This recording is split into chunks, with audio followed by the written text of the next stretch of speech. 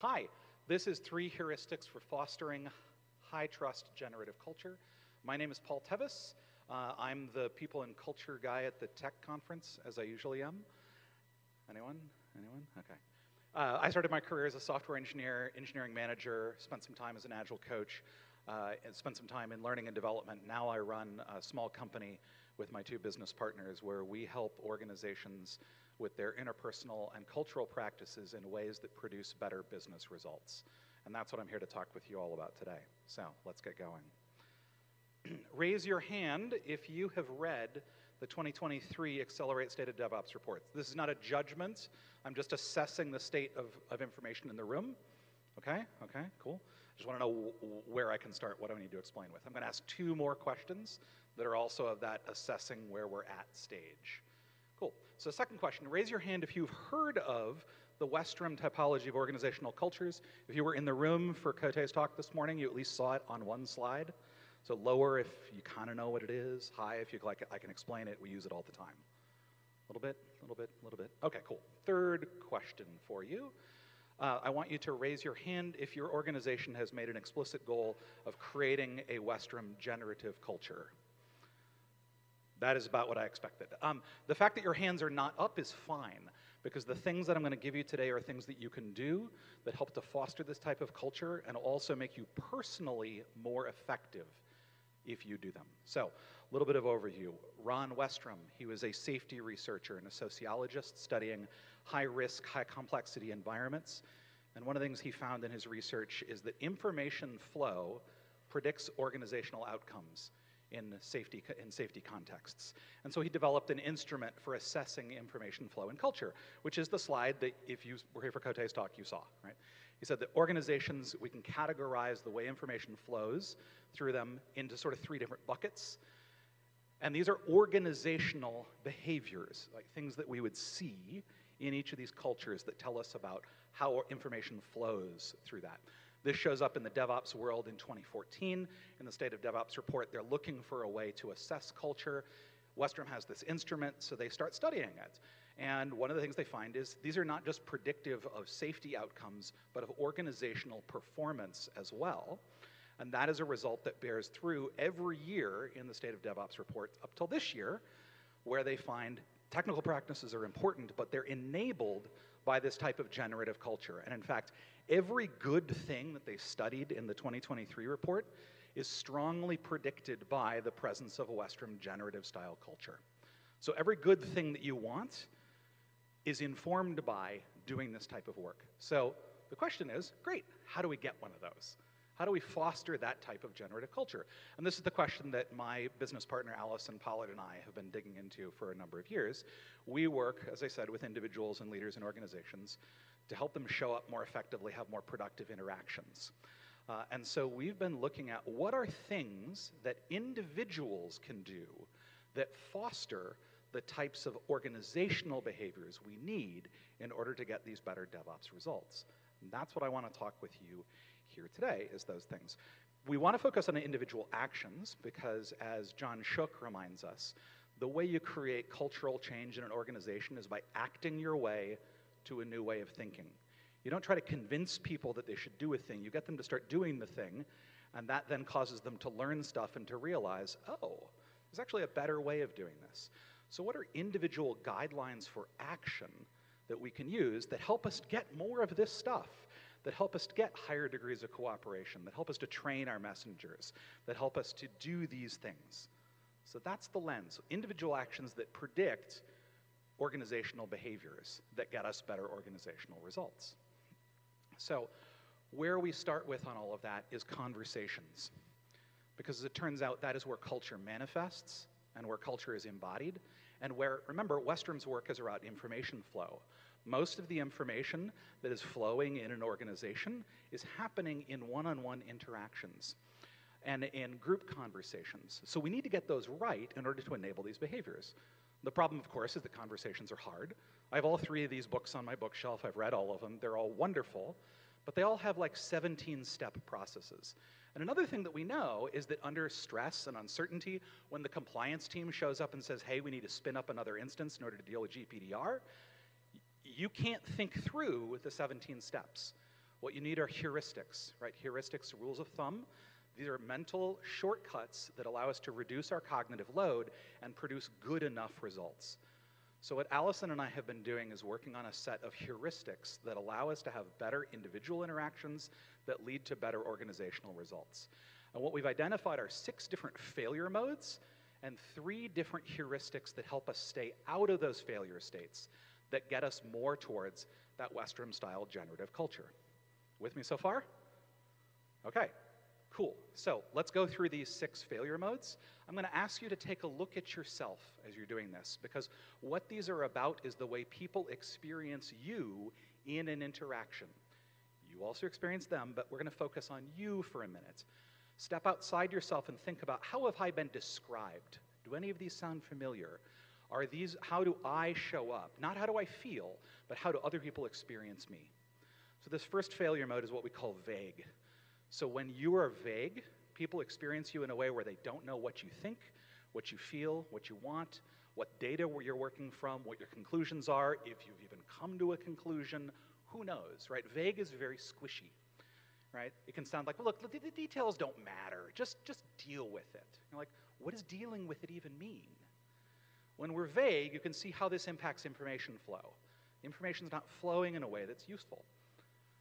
Now, on the other end of the spectrum, however, we have another failure mode that sometimes is the, the it's really kind of the polar opposite of this. And this is where we are rigid. So, rigid, when someone experiences me as rigid, it means that they know exactly what I think and what I want, and that is how it's going to be. The picture I'm painting is so clear and so detailed, there is no room for them in it. It's inflexible. I'm not open to influence. I don't know if anybody else has ever been described this way, but I know that I have, right? This is rigid is very much the we're doing it my way. Both of those get in the way of useful information flow in an organization. They're both failure modes. And the useful spot to, is to be somewhere between those two modes. And so this heuristic is what we call being clear. Being clear is when you avoid the traps of being vague and being rigid.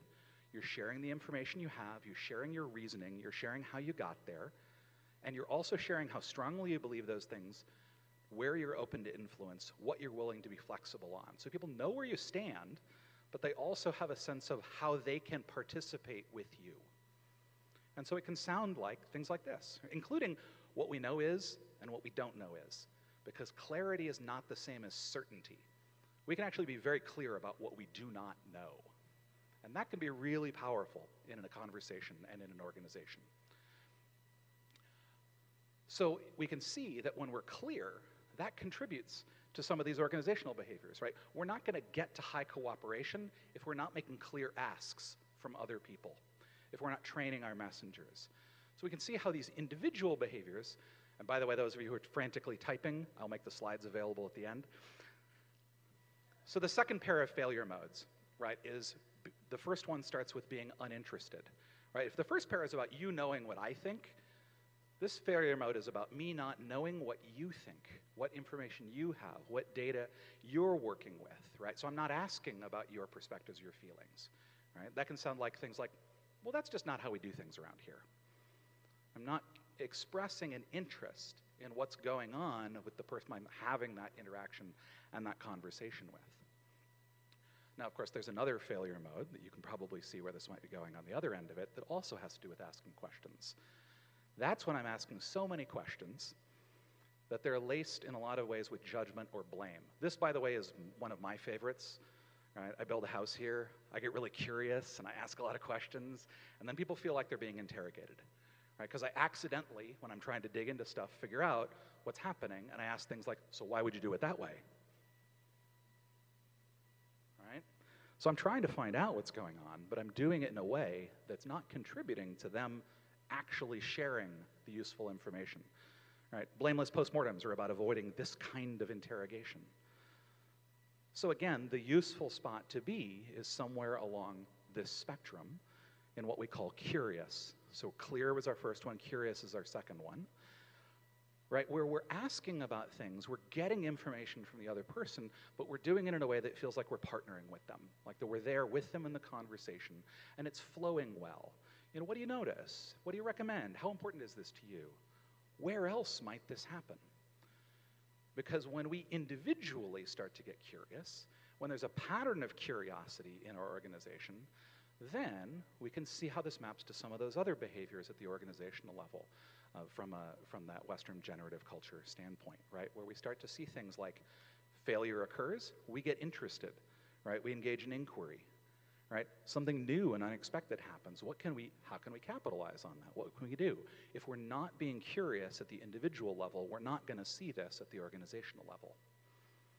So that's the second pair, right, where we think about being clear, being curious to avoid those four failure modes. The last pair starts with being distant, right? Distant is where I may know what you think and what your perspectives are, and it really seems like I don't care, right? Distant is when you're in a conversation with me and it's like I'm not even there. I'm off on some other planet. I'm talking about things that aren't relevant to you. It, it's, it, we're disconnected in a lot of ways. Um, sure, sure, that doesn't matter right now. Or perhaps even worse, don't bring me problems, bring me solutions. You're not interested, you don't express care about what I am experiencing. So that's distant. At the other end, we have glued.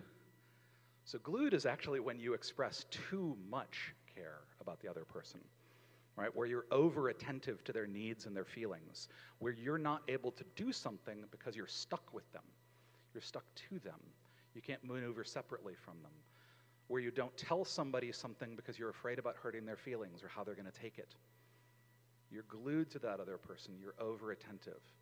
And so, or you hang off their every word and you do everything that they suggest. I hear managers talk about this a lot. They're like, my people take the one idea that I threw out there that I was just, mm, and then they run with it. And that's an example of being glued. So, again, the third place that's useful to be is connected, right? We're between distant and glued. We recognize where we end the other person begins, right? And we're still recognizing that we're interdependent with them. So it's recognizing separateness and interdependence. And so it can be things like expressing concern and care about what's going on with the other person and what's going on with that group. Letting them know proactively, hey, this might affect your group too. This is something that we need to pay attention to. Thanking people for bringing up problems, even when it was hard for them to do that. Acknowledging that there is another person on the other end of the conversation.